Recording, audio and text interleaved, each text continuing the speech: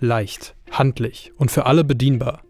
Oskar Barnack entwickelt 1914 den ersten Prototypen einer Kleinbildkamera. Mit der Erfindung schreibt er Fotografiegeschichte. Spätere Modelle dieser kompakten Kamera machten der Plattenkamera Konkurrenz. Aber warum gilt die Kleinbildkamera als Revolution? Was machte sie knapp 99 Jahre nach der ersten Fotografie so besonders?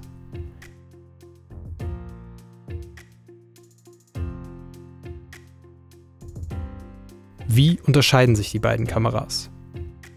Also, eine Plattenkamera besteht hauptsächlich aus einem Objektiv mit Blendenvorwahl und Verschluss, einem Gehäuse mit oder ohne Laufboden und eine Halterung für die Platte.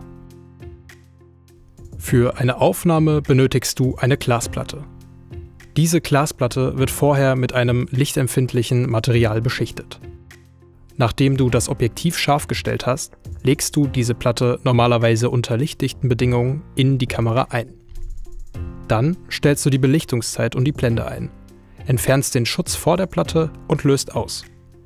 Kurz danach schiebst du den Schutz wieder direkt davor.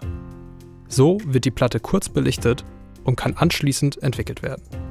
Auch die Kleinbildkamera hat vorne ein Objektiv.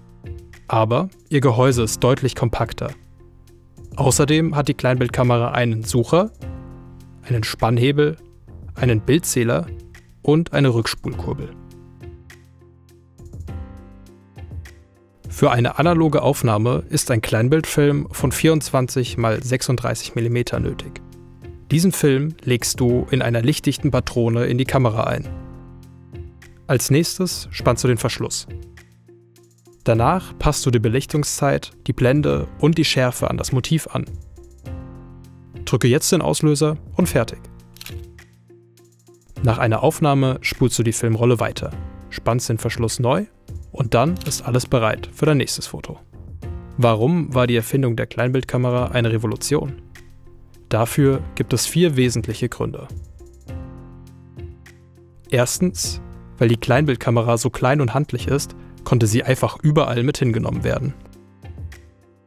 Zweitens, durch die Aufnahme mit einer Filmrolle statt einer Glasplatte konnten gleich mehrere Aufnahmen hintereinander gemacht werden. Drittens, eine Revolution entstand auch dadurch, dass viel mehr Menschen den Zugang zur Fotografie erhielten.